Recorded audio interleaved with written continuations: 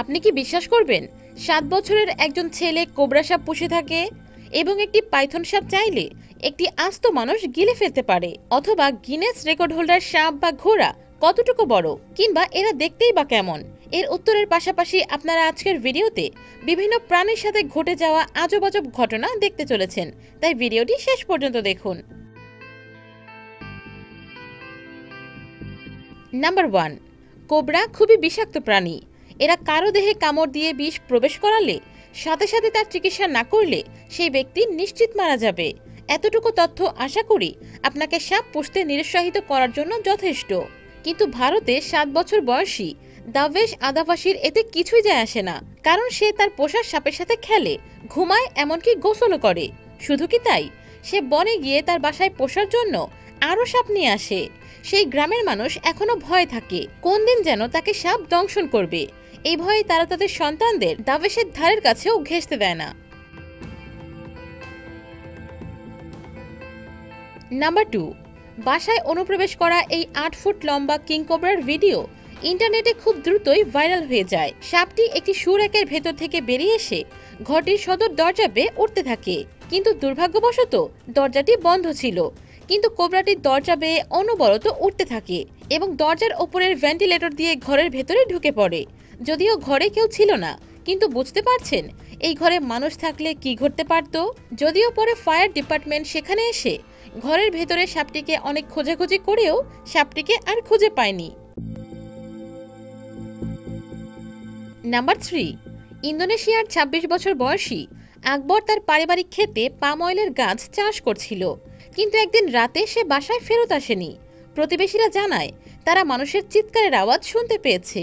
তখন কর্তৃপক্ষ তাকে তল্লাশি শুরু করে, কিন্তু তারা সেই ক্ষেতের খুব নিকটে একটি ত্রিশ ফুট লম্বা পাপুয়ান পাইথন দেখতে পায়।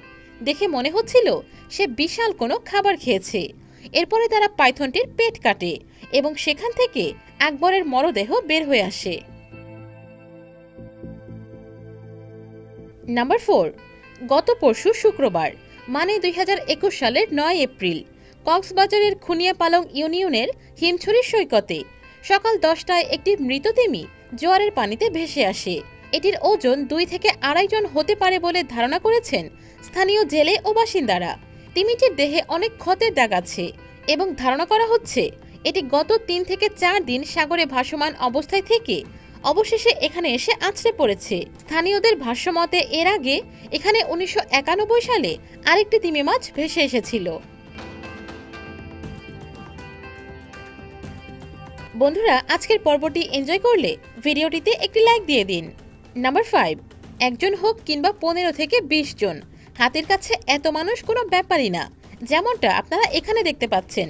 কীভাবে এই পনেরো থেকে বিশ জন মিলে হাতিটির সাথে দড়ি টানাটানি খেলছে?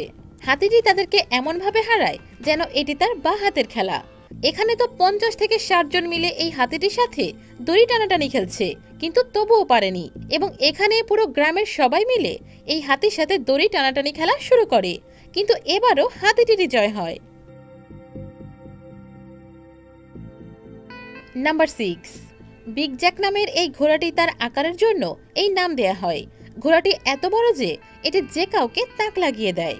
ঘোড়াটি ছয় ফিট ছয় ইঞ্চি উঁচু এবং দুই হাজার দশ সালে সে পৃথিবীর সবচেয়ে লম্বা ঘোড়ার খেতাব পায় এবং দুই হাজার আঠারো সালেও সে তার এই খেতাব ধরে রাখে।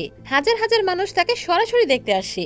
তার মালিক গিলবার্ট জানায় যে, এর আকারের কারণে যে কেউ একে দেখলে চমকে ওঠে।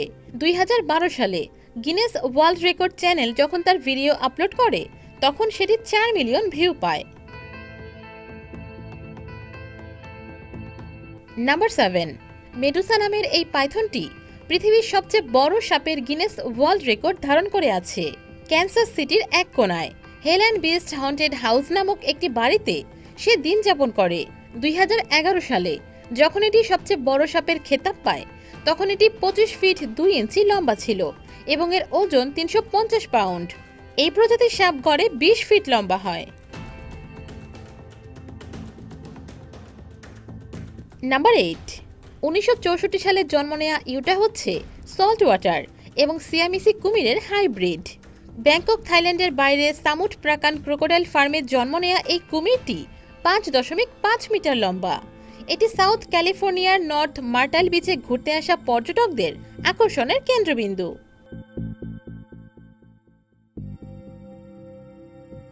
নাম্বার নাইন, কেভিন রিচার্ডসন নামের এই লোকটি সিংহের খুব কাছে যাওয়ার জন্য অনেক স্বনামধন্য।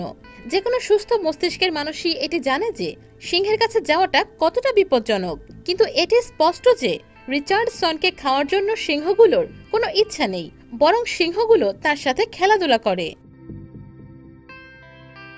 নাম্বার টেন, হ্যামিলিয়নের বাসিওয়ালার কাছে ইঁদুরগুলো ছুটে এসেছিল। এই মহিলাটির কাছেও এই খরগোশগুলো ঠিক একইভাবে ছুটে আসে। Number eleven. এখানে রাস্তায় এই হরিণগুলোকে বিশ্রাম নিতে দেখা যাচ্ছে। Number twelve. এখানে এই গন্ডাটি লোকালয়ে ঢুকে গেছে। সেখান দিয়ে যখন একজন লোক হেঁটে যাচ্ছিল তখন গন্ডাটি তাকে ধাওয়া করে বসে। আরেকটি ফুটেজে অন্য একটি গন্ডারকে দিব্যি দৌড়ে যেতে দেখা যাচ্ছে। এখানে রাতের শহরে এই গন্ডারটি লোকালয়ের মাঝে অবলা প্রাণীর মতো কারও কোনো ক্ষতি না করেই হেঁটে চলেছে। নাম্বার থার্টিন অ্যানিমেল কিংডমের অন্যান্য প্রাণী যেখানে একা একা হাইবারনেট করতে ভালোবাসে, সেখানে গাটার স্নেক দল বেঁধে হাইবারনেট করে থাকে।